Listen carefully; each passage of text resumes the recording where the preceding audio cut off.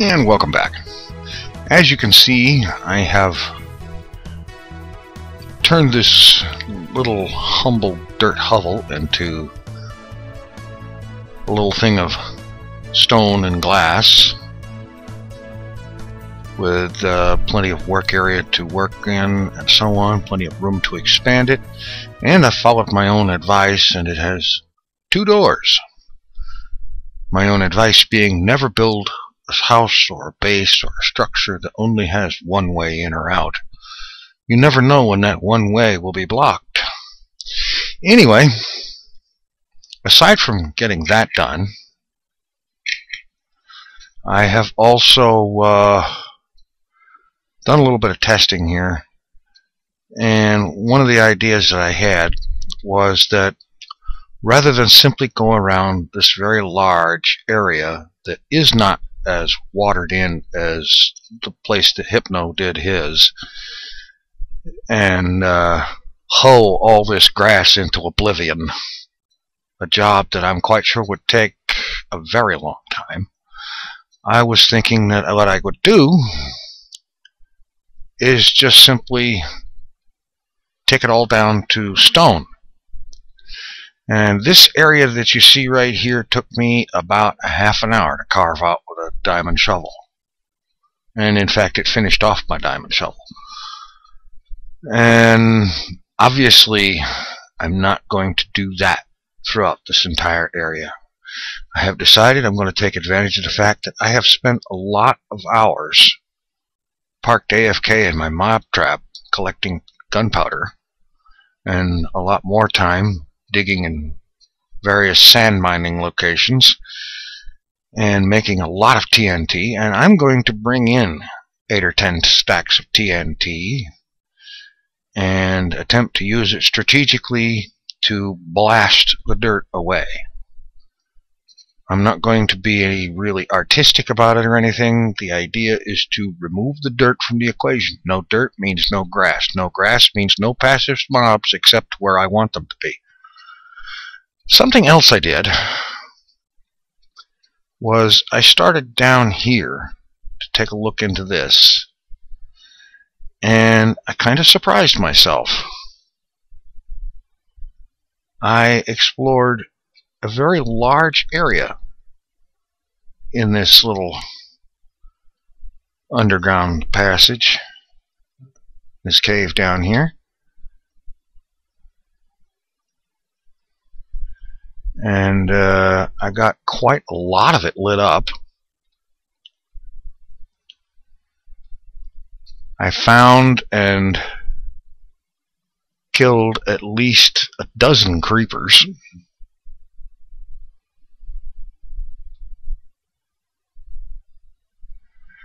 And brought out quite a bit of resources. There's still a whole lot more to bring out. But the point here is that for the first time, exploring a cave system did not get me owned and killed repeatedly. I didn't get killed once exploring this thing, and the part of it that I'm showing you is actually only a small bit. It's pretty good size. So that surprised me. And I think what that means is that perhaps what I need to do is just do my cave exploration off screen because apparently I had an easier time of it. I lived through it and there's a lot to be said for that. In the meantime, it's time to head back to the portal after I make up some ladders so that I can get to it. And do something about that. And in that regard, I'm going to take Hypno's advice and go down to that portal, take it apart while I still have enough diamond pick to cut the obsidian, and then I'm going to bring that up topside and rebuild it up top side where it's easier to get to.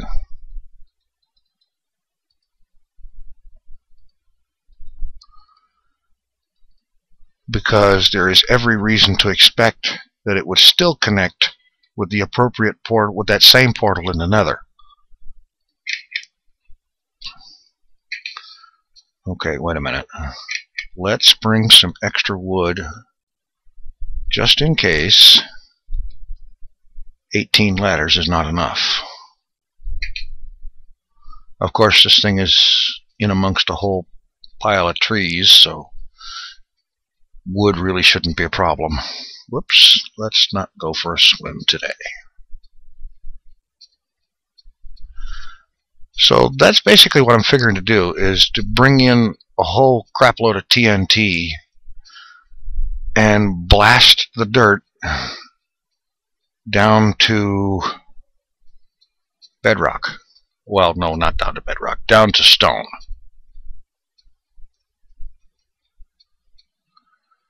Uh, let's see here. Is this where I turn, or do I keep going? I honestly can't remember. And that's not good. Well, I don't see any torches along here, and I distinctly remember leaving torches on the path.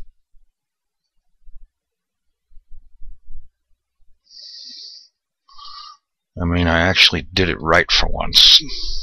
So, let's head up this way. And it becomes night. We see that this is not the way to go. I don't see any torches.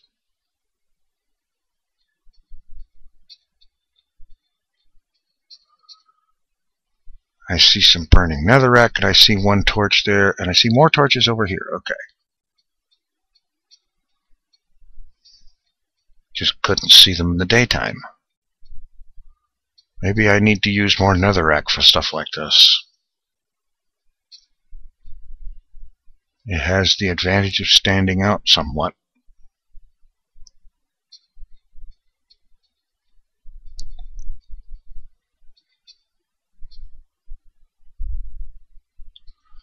Alright. Nice neat line of torches. Going exactly where I want to go.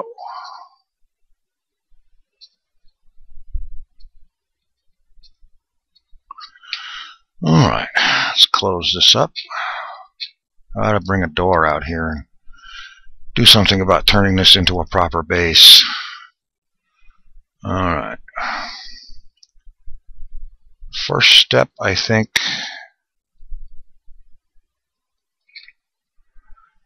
is let's get rid of this ice.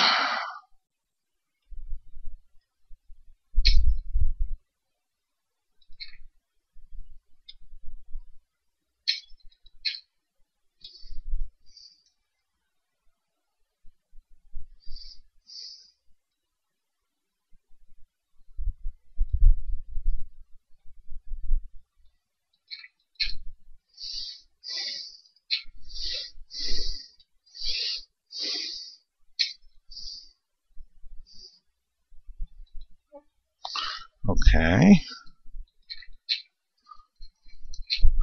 All right. Now,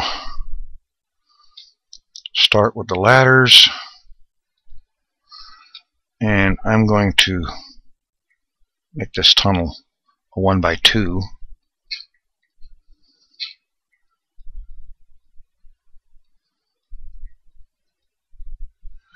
so that I can place a few torches along the whole thing and be able to see, and be able to see.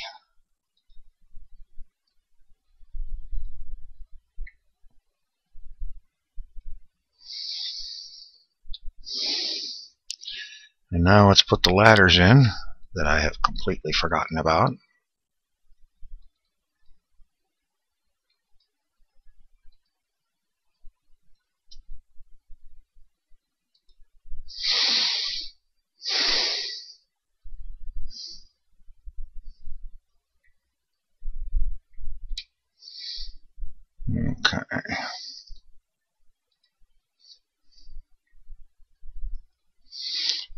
hear the portal. Close.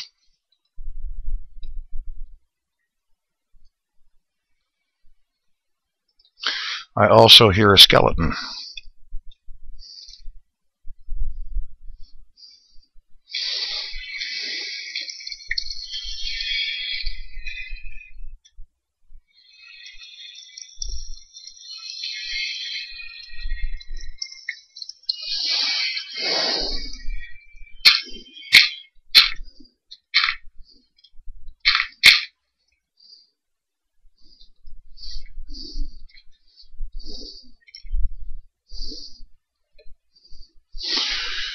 Okay, I see I'm going to need more ladders. First, there is the matter of the skeleton that I keep hearing.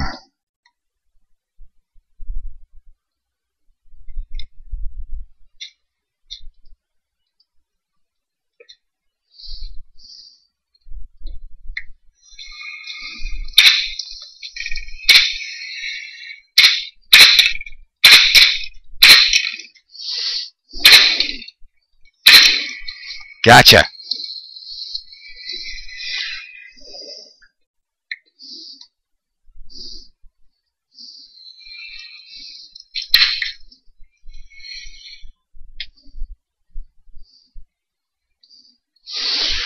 Okay. I think I want to seal that off for the time being so that I can work uninterrupted.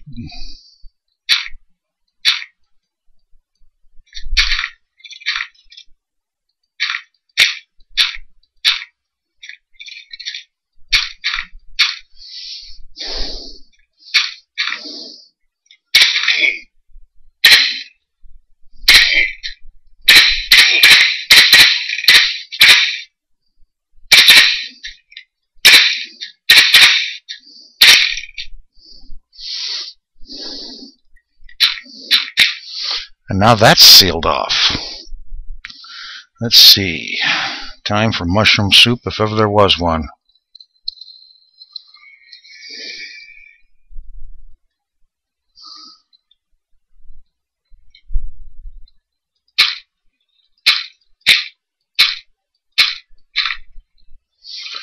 Alright.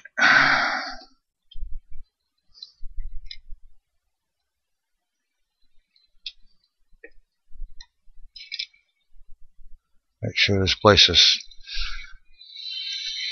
isolated for now.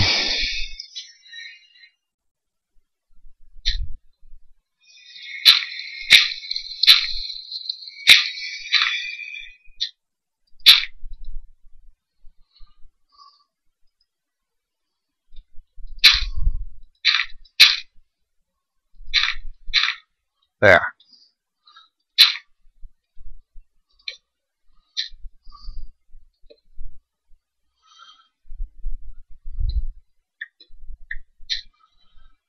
Okay.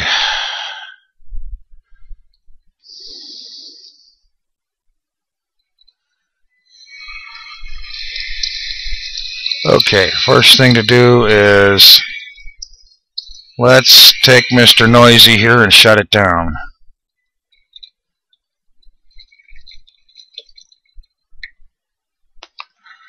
Good, there's nothing on the other side of that. I was hoping it was up against a wall.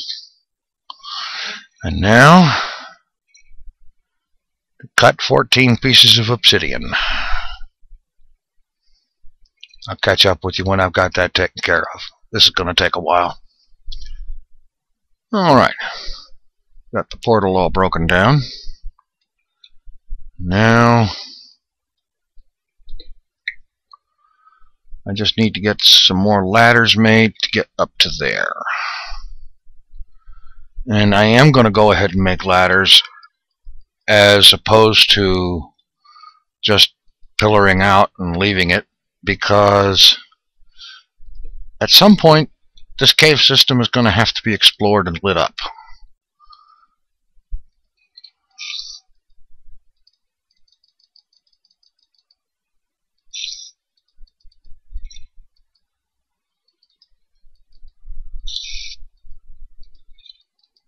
and having a nice easy access would be a good idea.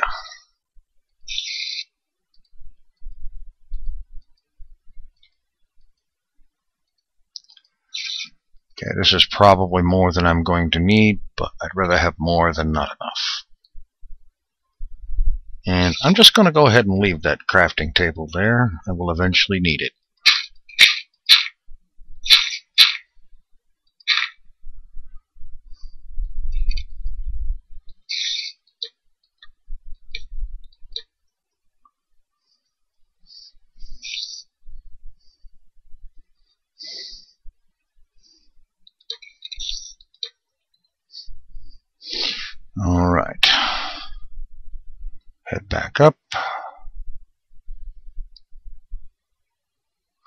All right. Now, the original portal is right there down below, so I think that's where I'm going to build the replacement. In the same spot, only higher up. That way I'll get the most likely chance, the best chance possible, of reconnecting with the original nether portal that this one was tied to.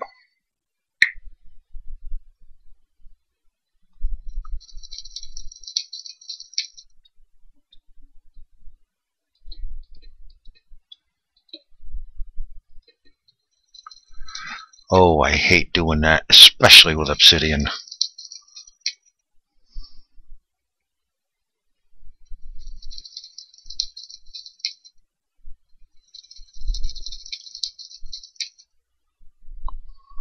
I don't know what it is, whether it's me or the mouse is just a little bit funky sometimes or what, but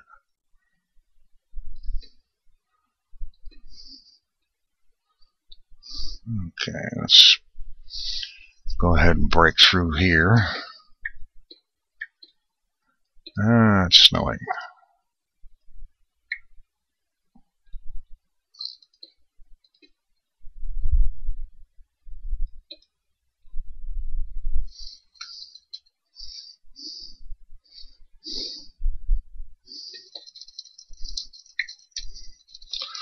And now two more.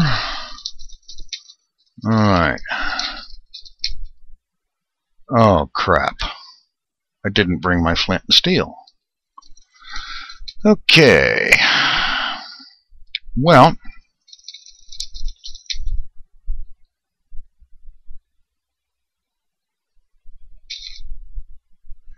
I believe I will go get it and be back shortly. And I'm back. And now, let's fire this up and see if perhaps it uh, connects with the original one still.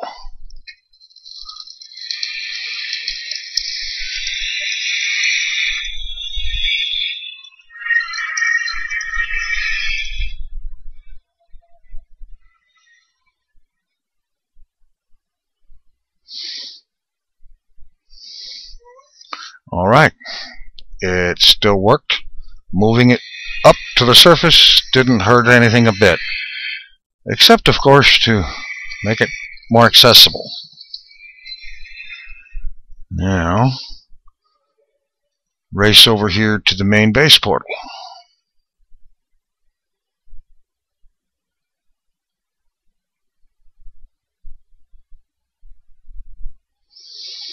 Ooh, major lag.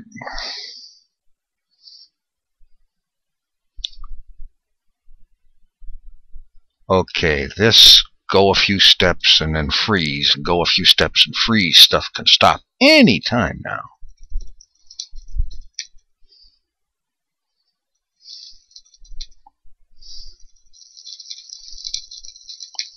I don't know why I bother to have my bow at the ready in this situation it's unlikely that I would hit one of those little buggers.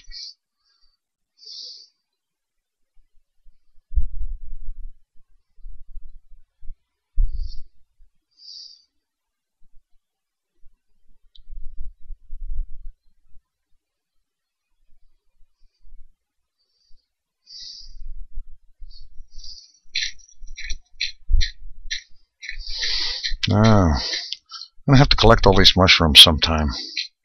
Which reminds me, the next time I get down to Gizmo's Island Base, I need to switch the mushroom farm to red only for a while. Because obviously I have a plethora of brown. Uh, gonna need to get that fixed too. In the meantime, let's go get some supplies.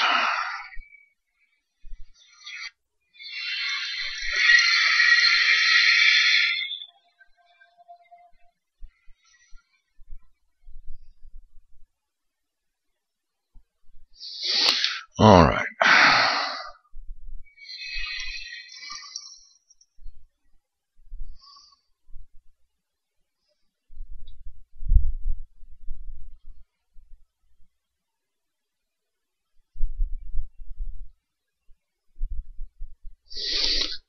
I realized that a big chunk of the reason for this part of lag is loading new areas after having gone through a portal but it's still a royal pain.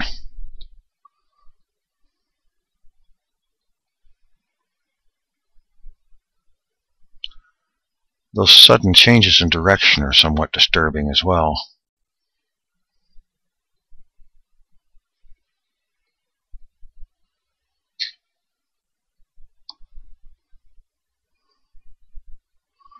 Oh boy. One of these days I'll have this problem fixed with a new gaming machine that is got enough oomph not to have this sort of problem.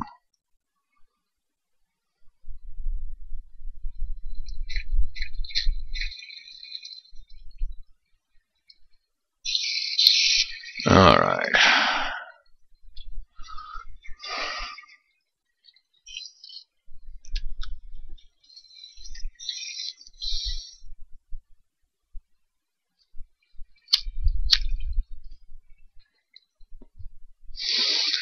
Alright, let's go get this TNT. Here's my Mob Towers collection area. And TNT storage.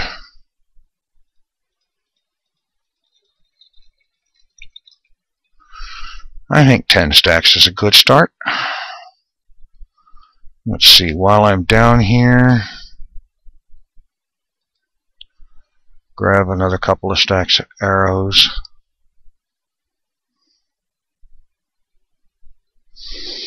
Alright.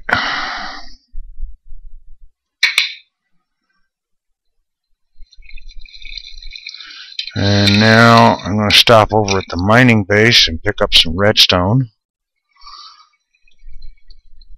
because I don't want to be setting off TNT too close to it.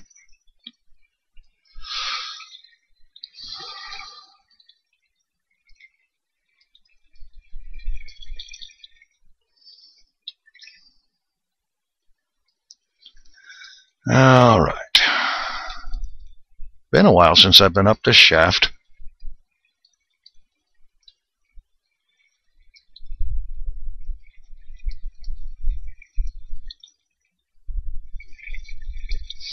And of course the mob tower with all of its mobs and dozens of water streams is its own lag monster.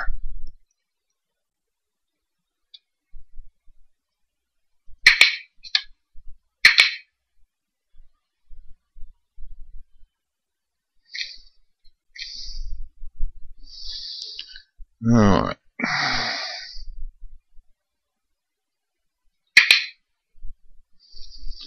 Let's see. Trade out the raw for the cooked.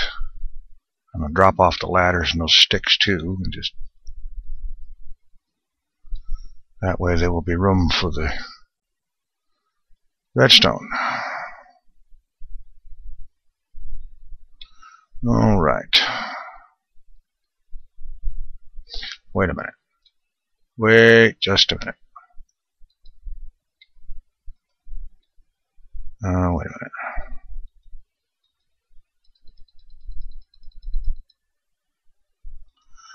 A little something to work with. Make sure I have tools.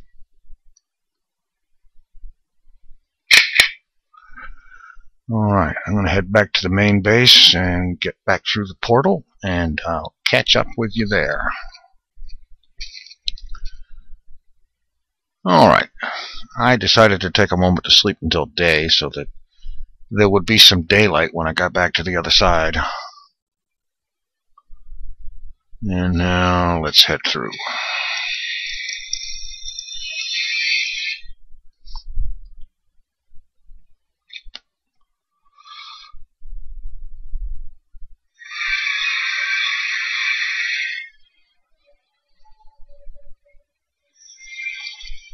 I'll need to make another trip sometime soon to get cobblestone unless I start coming up with a bunch of... Well, I start blasting, I ought to have all the cobblestone I need.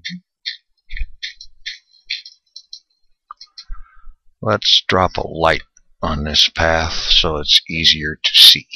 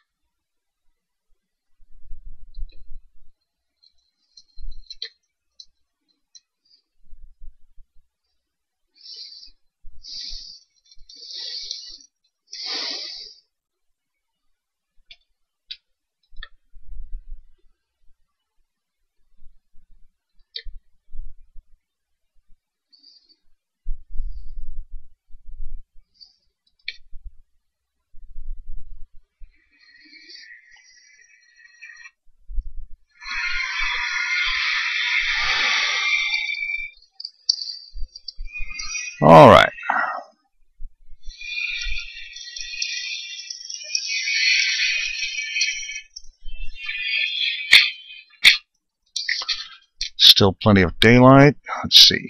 Oh yes, it's early day.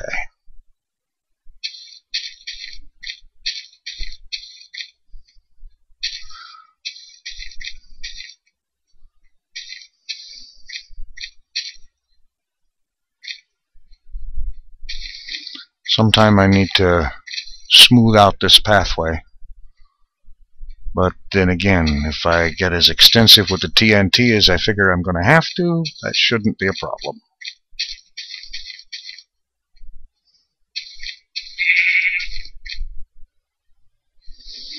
basically, I'm going to end up clearing a an, an area that's going to be 300 blocks on a side, I believe. And that's going to cover quite a bit.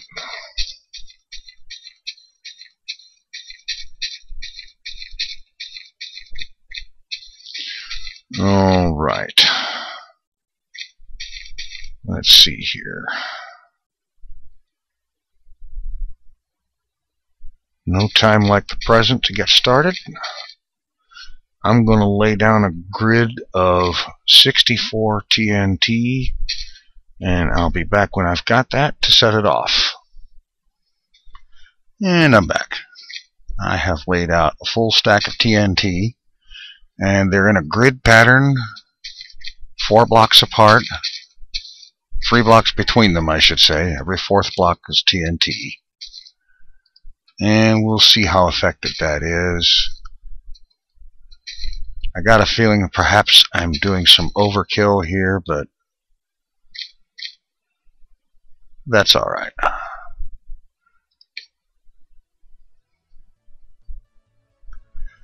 Alright, and I've turned my render distance back to normal so that there's some kind of a view of this. And let's do it.